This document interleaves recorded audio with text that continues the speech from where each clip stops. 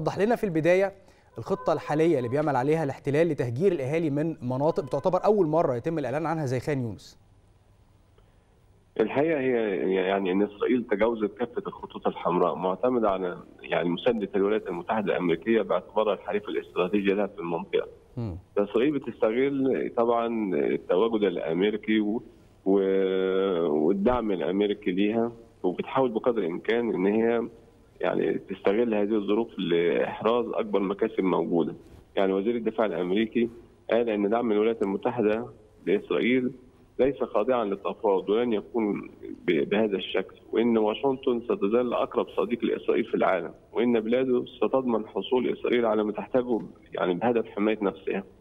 هي شافت إن طبعا كل كافة الأسلحة الموجودة والإمكانيات الموجودة بتحاول إن هي تستغلها من أجل تسوية المباني الموجودة في غزة والحصول على أكبر مكاسب بتدمير تدمير كل المنازل المنازل وفي نفس الوقت المستشفيات والمدارس بشكل يعني قد يكون نظام جرائم حرب وإبادة كاملة للشعب الفلسطيني. بس أنا عايز اتفضل. اتفضل يا فندم. أنا عايز أكد على حاجة مهمة إن طبعا فكرة تهجير الفلسطينيين مش وليدة اليوم. يعني طبعا كان في تهجير الفلسطيني سنة 48 كان 700 ألف فلسطيني تم تهجيرهم من في خلال حرب فلسطين سنة 48 وفي نفس الوقت برضه سعت إسرائيل لتوطين عشرات الآلاف من الفلسطينيين في مشاريع التنميه الزراعية بسيناء. وديت كانت خصائص الولايات المتحدة الأمريكية الجزء الأكبر لتمويل المشروع وكان يعني فترة الرئيس جمال عبد الناصر ما تحققش يعني أو ما تمش تنفيذه. وخلال احتلال إسرائيل لسينا من 67 ل 73 برضه حاولت إسرائيل استغلال يعني إن هي تسيطر على الأرض في تهجير آلاف الفلسطينيين إلى الأراضي المصرية.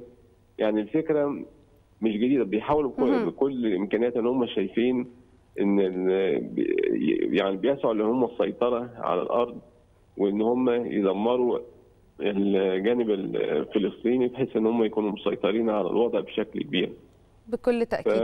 حتى إن الولايات المتحدة الأمريكية وإسرائيل قدموا أفكار كتير جدا مغرية اقتصاديا لكن طبعا اترفضت تماما من كل يعني لمنع لمنع أي تهجير يعني كانت مرفوضة بشكل كبير جدا.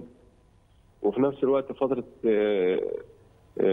يعني تم تكرار تكرار بطرح فكرة التهجير أكثر من مرة حتى في فترة الرئيس الأسبق حسني مبارك.